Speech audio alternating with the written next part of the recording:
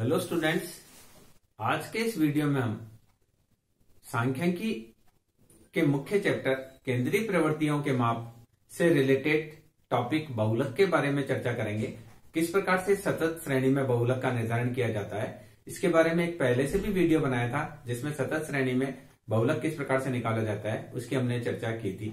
कई बार जो हमें क्लास इंटरवल है, वो डिसेंडिंग ऑर्डर में दिया हुआ होता है तो ऐसी स्थिति में बहुलक का निर्धारण किस प्रकार से किया जाता है, इसकी चर्चा आज के हम इस वीडियो में करेंगे। तो अगर मान लीजिए डिसेंडिंग ऑर्डर में है, जैसे सामान्य रूप से असेंडिंग ऑर्डर में zero to ten ten to twenty twenty to thirty thirty to forty forty to fifty दिया जाता है। अगर डिसेंडिंग ऑर्डर में ऐसे हो fifty to forty thirty to forty twenty to thirty ten to twenty zero to ten तो इस प्रकार से अगर क्लास इंटरवल दिया हो तो हमको बहुलक निज्ञात करने के लिए यह सूत्र प्रयोग में लेना पड़ेगा। Z equal to L two minus F one minus F zero upon two F one minus F zero minus F two multiply by I पहले वाले सूत्र में या प्लस यूज़ करते हैं या एल वन यूज़ लेते हैं, पर यहाँ चूँकि डिसेंडिंग ऑर्डर है तो डिसेंडिंग ऑर्डर में हमको ये सूत्र प्रयोग में लेना है। एफ़ वन की वैल्यू वही है, बहुलक वर्ग की आवृत्ति, ये बहुलक वर्ग के पहले की आवृत्ति, ये बहुलक वर्ग के बाद की आवृत्ति क्लास इंटरवल बाकी चीज़ें सब की वही है। पर आपको यहाँ एल वन की जगह एल टू काम में लेना है या प्लस की जगह माइनस काम में लेना है, वो आपको ध्यान में रखना है, अगर डिसेंडिंग ऑर्डर हो। मैं आपको एक सवाल करके बताता हूँ, जिसमें डिसेंडिंग ऑर्डर में किस प्रकार से बहुलक को निर्धारण किया जाता है, उसके बारे में हम चर्चा करेंगे। मान लीजिए क्वेश्चन हमको दे रखा है fifty five to sixty fifty to fifty five forty five to fifty forty to forty five then 35 to 40 then 30 to 35 then 25 to 30 then 20 to 25 suppose ये हमको क्लास इंटरवल दे रहा है। फ्रीक्वेंसी दे रखी है। फ्रीक्वेंसी दे रखी है five seven twelve fifteen eighteen eight seven five तो सबसे पहले तो हमको क्या करना पड़ेगा? बहुलक वर्ग का निर्धारण करना पड़ेगा। और बहुलक वर्ग का निर्धारण करने के लिए वही हमको ग्रुपिंग करनी पड़ेगी। और ये देखना पड़ेगा कि बहुलक हमारा 35 से 40 के बीच में या 40 से 45 के बीच में या 45 से 50 के बीच में तो पहले हम बहुलक वर्ग का निर्धारण करने के लिए ऑन ग्रुपिंग करेंगे। तो ग्रुपिंग के लिए हम पहले एक दो दो के जोड़े बनाएँगे, फिर एक छोड़कर दो दो के जोड़े बनाएँगे, फिर तीन तीन के जोड़े बनाएँगे। फिर एक छोड़कर तीन तीन के जोड़े बनाएँगे, फिर दो छोड़कर तीन तीन के जोड़े बनाएँगे और अंत में विश्लेषण करेंगे। ये आपको अच्छे से आता है, समूहन। समूहन, फ़र्स्ट समूहन सेकंड समूहन थर्ड समूहन फोर्थ समूहन फिफ्थ समूहन और विश्लेषण। तो ये आपको करना है। तो देखिए, इन दोनों को हम जोड़ेंगे। ट्वेल्व आएगा, ये ट्वेंटी सेवन आएगा, ये ट्वेंटी सिक्स आएगा ट्वेल्व आएगा। थोड़ा स्पीड से कर देता हूँ, आपको आता है। फिर एक छोड़कर हम फिर दो को जोड़ेंगे 19 आएगा। इन दोनों को जोड़ेंगे तो 33 आएगा, इन दोनों को जोड़ेंगे तो 15 आएगा। फिर तीन तीन के जोड़े बनेंगे तो 12 12 24 हो जाएगा। फिर ये तीनों को जोड़ेंगे 16 और 5 21 41 हो जाएगा और लास्ट में टू बच जाएगा। फिर एक संख्या छोड़कर जोड़ेंगे तो आएगा seven seven fourteen thirty four फिर इन तीन को जोड़ेंगे फिफ्टीन और फिफ्टीन थर्टी थ्री फिफ्टीन और थर्टी फिफ्टीन और एटीन थर्टी थ्री आएगा. फिर दो संख्या छोड़कर जोड़ेंगे. तीन तीन के जोड़े बनाएँगे दो संख्या छोड़कर. फिफ्टीन फाइव फोर्टी फाइव फिर ये जोड़ेंगे फिफ्टीन और ट्वेंटी तो हमने क्या किया? थोड़ा मैंने स्पीड से किया। है क्या किया? पहले दो दो के जोड़े बनाए। फिर एक संख्या छोड़कर इन दो को जोड़ा, इन दो को जोड़ा, इन दो को जोड़ा। फिर फ़र्स्ट तीन को ये जोड़ा, फिर सेकंड तीन को ये जोड़ा। फिर एक संख्या छोड़कर इन तीन को जोड़ा थर्टी फोर आया, इन तीन को जोड़ा थर्टी थ्री आया। फिर दो संख्या छोड़कर इनको जोड़ा फोर्टी फाइव आया, इन तीनों को जोड़ा ट्वेंटी आया। विश्लेषण करेंगे तो विश्लेषण में फ़र्स्ट सबसे बड़ी संख्या, देखिए मैंने पहले भी आपको बताया हमेशा फ्रीक्वेंसी से स्टार्ट करना है। सिक्स टाइम्स से विश्लेषण है। One two three four five और सिक्स टेन तो ये देखिए, सबसे बड़ी संख्या 18 है। 18 के आगे हमने एक पहली मार्क बनाया। अब सबसे बड़ी संख्या 27 है। तो 12 और 15 के आगे हमने एक टेलीमार्क बनाया। एक 12 के आगे, एक 15 के आगे। अब 33 सबसे बड़ी है। 15 और 18 तो हमने 15 के आगे करा 18 के आगे करा। 41 सबसे बड़ी संख्या है। तीन का जोड़ है 15 18 और 8 तो हमने 15 के आगे एक टेलीमार्क 18 के आगे और 8 के आगे एक टेलीमार्क लगा दिया। अब 34 सबसे बड़ी संख्या है। 7 12 और 15 तो 7 आ, हम पहले करेंगे। 7 के आगे 12 के आगे और 15 के आगे। और लास्ट 45 सबसे बड़ी संख्या है। 45 आता है इन तीनों का तो ये 12 ये दिस एंड दिस तो ये आएगा। Dash one three five four one dash dash इसका मतलब है, ये फाइव आया, इसका मतलब हमारा जो बहुलक है, वो लाइज कर रहा है 40 टू 45 के बीच में। तो हमने क्या किया? सबसे पहले ग्रुपिंग करके ये देखा कि बहुलक है कहाँ। तो बहुलक का हमको पता चल गया 40 से 45 के बीच में बहुलक है। अब देखिए 40 से 45 के बीच में बहुलक है, और हमको अब बहुलक का निर्धारण करना है।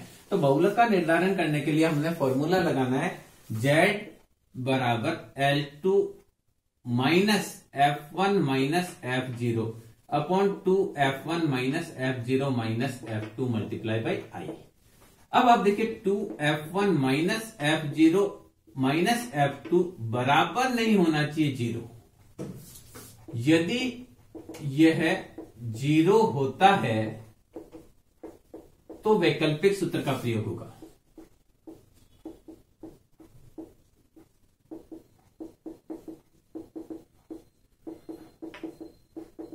अब आप देखिए, हमारा यहाँ क्या है? हमारे यहाँ L2 का मान है 45 बहुलक वर्ग जो है, बहुलक ये हो गया F1 इससे पहले वाली हो गई F0 इसके बाद वाली हो गई F2 ओके बहुलक. तो हमारे यहाँ F1 का मान है 15 F0 का मान है 12 F2 का मान है 18 ओके और I का मान है फाइव तो यहाँ देखिए टू मल्टीप्लाई फिफ्टीन। देखिए, मैं इसमें मान रखता हूँ, two F one minus F zero minus F two बराबर नहीं होना चाहिए ज़ीरो के। Two multiply fifteen minus twelve minus eighteen बराबर है ज़ीरो के। अतः यहाँ वैकल्पिक सूत्र का प्रयोग किया जाएगा। ये थोड़ा सा ध्यान रखना आपको। यहाँ क्या करना हमको? वैकल्पिक सूत्र का प्रयोग करना है, क्योंकि यहाँ ज़ीरो होते ही ये सब ज़ीरो हो जाएगा। तो फिर एल टू का मान फोर्टी फाइव भी बहुलक आ जाएगा। तो ऐसी स्थिति में हम क्या करेंगे? सही बहुलक का निर्धारण करने के लिए सूत्र को थोड़ा सा चेंज करेंगे। सूत्र क्या लिखेंगे? सूत्र में हमको क्या करना है? इसी सूत्र को मॉडिफाइड करेंगे। Z is to L two minus यहाँ हम क्या करेंगे? ऐसे चीने लगा देंगे प्लस माइनस को हम वो नहीं करेंगे। F one minus F zero plus F one minus F two यानी प्लस और माइनस को इग्नोर करेंगे। ये क्या है? इग्नोरिंग प्लस व माइनस इग्नोर करना है। यानी सबको प्लस ही ट्रीट करेंगे। तो एल टू का मान हमारा हुआ 45 minus 15 minus twelve divided by 15 minus twelve plus 15 minus 18 यानी सबको प्लस मानना है। प्लस मानना है तो कैसे करेंगे?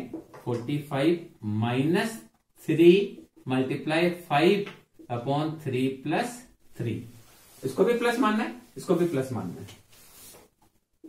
तो आएगा 45 five minus fifteen upon six तो आएगा 45 five minus two point five that is 42.5 तो आंसर हमारा आएगा इसका 42.5 तो ये देखिए 42.5 इन दोनों के बीच में लाइज कर रहा है। तो इस प्रकार से अगर आपको कोई श्रेणी ऐसी प्रकार से मिले जो डिसेंडिंग ऑर्डर में हो तो डिसेंडिंग ऑर्डर में हो तो आपको ये फॉर्मूला लगाकर करना है। अगर इस फॉर्मूले से सही नहीं आ रहा है तो ही आपको ये वैकल्पिक सूत्र लगाना है। बाकी ये वैकल्पिक सूत्र नहीं लगाना है। ये कब लगाना है? जब two F one minus F zero minus F two बराबर आ जाए ज़ीरो तो लगाना है। सामान्य रूप से बहुत कम केसेज में ऐसा होगा कि ये इसके बराबर ज़ीरो आ जाए। ये एक सवाल हमने जानबूझकर ऐसा बनाया ताकि ये ज़ीरो आ जाए तो आपको पता चले कि अगर ऐसी समस्या हो जाती है तो बहुलक में हमको क्या करना है?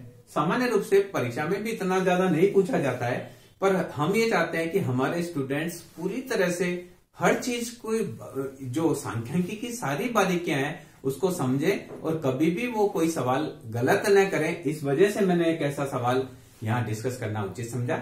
इसी प्रकार से एक और सवाल जो है वो कई बार आ जाता है जहाँ स्टूडेंट्स कई परेशानी महसूस करते हैं। मैं एक ऐसा सवाल और डिस्कस आपके साथ करना चाहूँगा, जिसके अंदर की बहुलत निकालते हैं। तो बहुलत निकालने में देखिए क्या परेशानी आती है, उसमें उसको हम समझेंगे।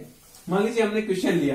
क्वेश्चन लिया उसको हम बोल सकते हैं ओपन एंड सीरीज़ यानी कोई बहुलक सतत श्रेणी में ऐसा हो कि पहले वाले वर्ग है उसकी आवृत्ति बहुत ज़्यादा हो यानी बहुलक उसी में लाइज कर रहा हो या जो लास्ट वाला वर्ग है उसमें बहुत ज़्यादा आवृत्ति हो तो ऐसी अगर कोई सीरीज़ आ जाए तो बहुलक क्या निक, कैसे निकालेंगे? क्योंकि सामान्य रूप से हम क्या करते हैं? हम हमने जितने भी सवाल किए हैं उनमें बहुलक बीचों बीच के आसपास कहीं आता है जहाँ एफ़ वन एफ़ ज़ीरो और एफ़ टू हमारे को आसानी से मिल जाते हैं और ऐसी स्थिति में बहुलक निकालना हमारे लिए आसान हो जाता है। तो देखिए हम क्वेश्चन लेते हैं।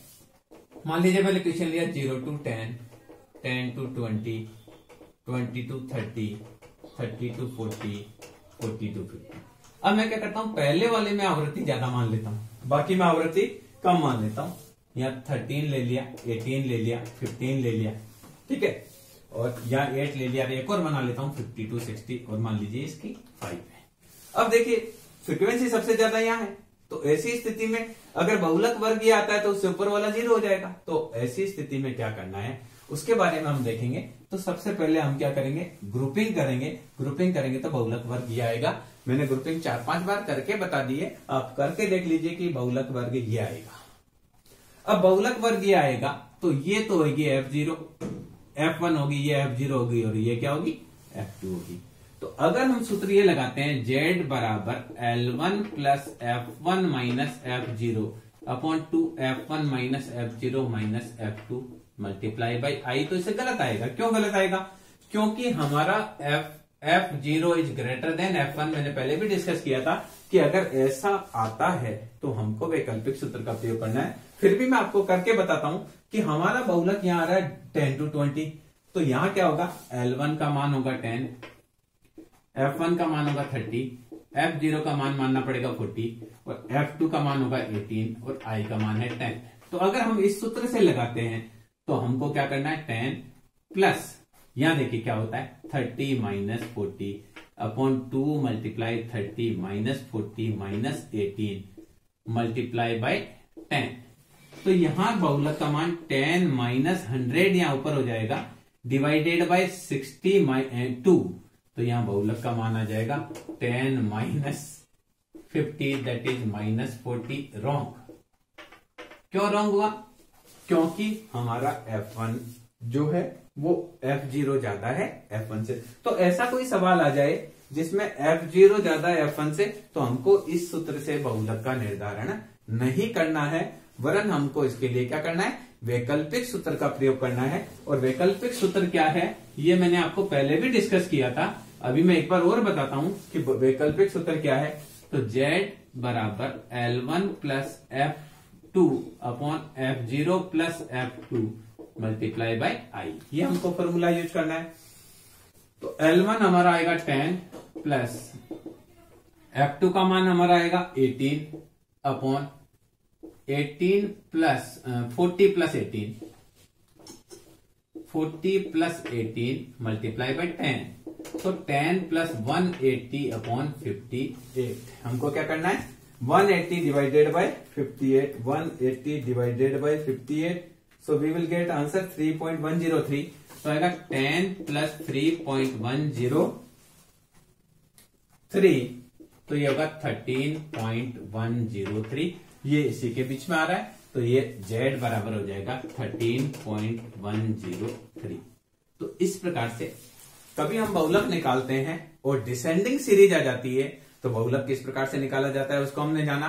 दूसरा, अगर ओपन एंड सीरीज़ हो, यानी जो फ्रिक्वेंसी या तो फ़र्स्ट में बहुत ज़्यादा हो या लास्ट में बहुत ज़्यादा हो तो ऐसी स्थिति में बहुलक क्या निकालते हैं? उसके लिए हमको ये वैकल्पिक सूत्र का प्रयोग लेना पड़ेगा, क्योंकि लास्ट वन में भी ज़्यादा होगी तो हमारा फिर क्या होगा? उसमें भी हमको नेगेटिव होने का चांस है।